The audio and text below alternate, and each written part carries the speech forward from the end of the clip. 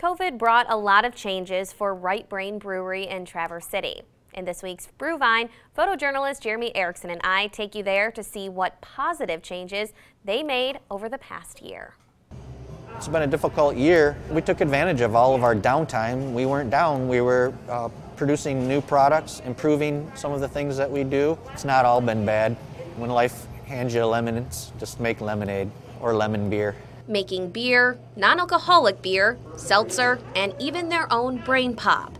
The COVID slowdown has given the brewers at Right Brain Brewery plenty of time to tweak recipes and try some new things.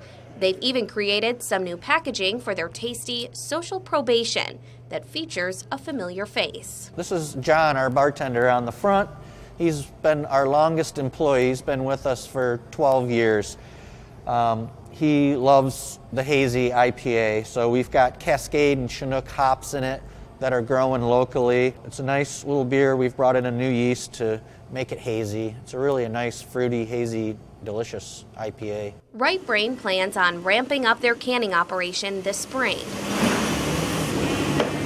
The increase in cans will bring more variety to the already long list of libations they have to offer. Satisfaction, Thai peanut, the pig porter, those will all be in 16 ounce four packs, and we'll have a huge variety of one-offs that we've that we've never done before. So we're excited about that. Something else they're excited about bringing their customers back inside safely for some pints and pinball. We've got basically about 200 square feet per person, so it's a nice advantage having this huge space. It's a lot more fun to fill it 100% occupancy, but 25% we'll do it.